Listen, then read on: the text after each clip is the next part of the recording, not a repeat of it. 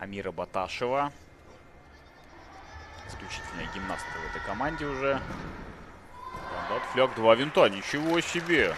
Ничего себе! Это самый сложный прыжок на этих соревнованиях. Мы у мальчиков-то не часто такое наблюдали. Здесь...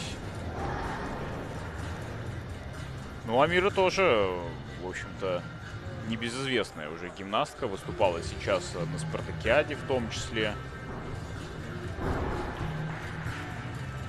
Тренируется она у Киришовой Веры Осина. А Вера Осина очень хороший тренер, поэтому на то, что она экранах. прыгает два винта, совсем не удивительно.